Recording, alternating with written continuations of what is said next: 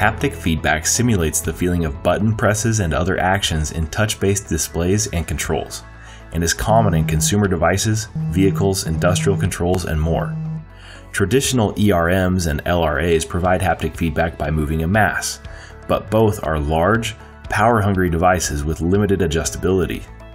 Piezohaptic actuators are thin, low power devices that use the piezo effect to generate feedback, with the ability to independently vary the amplitude and frequency of the applied signal to produce a wide range of haptic effects that provide more natural and intuitive feedback to the user.